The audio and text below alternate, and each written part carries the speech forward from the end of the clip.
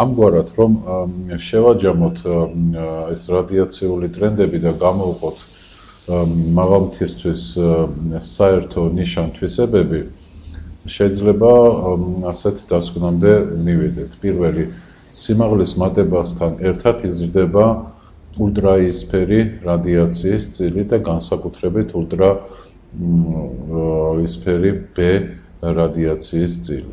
მეორე დიფუზიური რადიაციის სიმკვრივე მოწმენდილ ამინში ცირდება, რაც ზრდის კონტრასტულობას თების განათებულ და დაჭდილ ზედაპირებს შორის. ფერდობები გულისხმება მთის ფერდობები.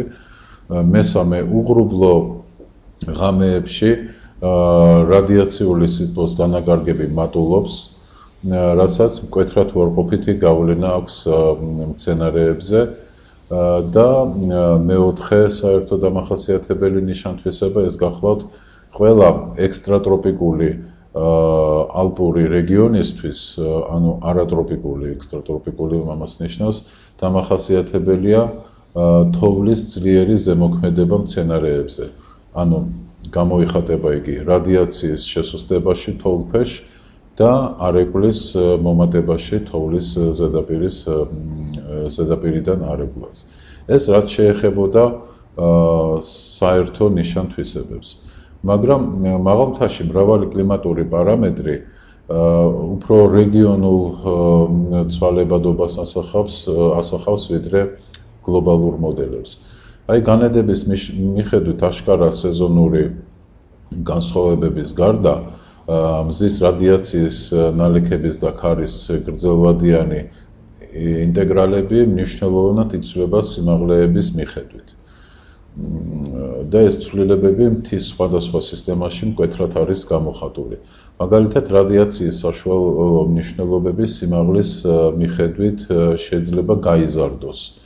არიდულ მთებში, აგრეთვე ჩილეს უდაბნოს ზონაში, სადაც მაღალმთიანი სისტემებიც არის მოქცეული, არგენტინის ჩრდილო-დასავლეთ მთებში ეს იმ ადგილებში, სადაც შეიძლება გაიზარდოს. შეიძლება არ შეიცვალოს და დარჩეს უცვლელი ევროპის ალპებში, ამერიკის შეერთებული შტატების კლდოვან მთებში, ახალი ზელანდიის მთებში და კავკასიონზე. და მესამე ვარიანტი ეს გახლავთ, როდესაც შეიძლება შემცირდეს კიდევაც. და ეს აღინიშნება შოტლანდიის მთებში, იაპონიის მთებში, ახალი გვინეის ტროპიკულ ტენიან მთებში, აფრიკაში რუვენზორის მთები არის ასეთი იქ, სადაც ალპური სარტყელი მუდმივი ღრუბლიანობის გამო დაბლობში გაზომილი მზის რადიაციის მხოლოდ 1/13-ს თუ იღებს. აი საინტერესო სურათი არის აქ აქ მოცემული მზის რადიაციასთან დაკავშირებით.